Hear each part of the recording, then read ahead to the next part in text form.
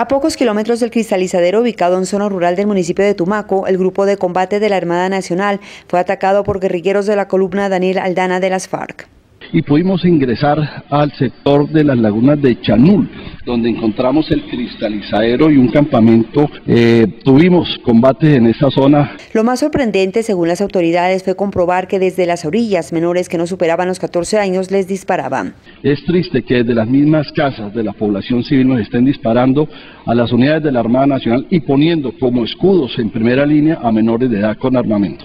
La Armada Nacional logró repeler el ataque y controlar la situación para desmantelar el complejo cocalero.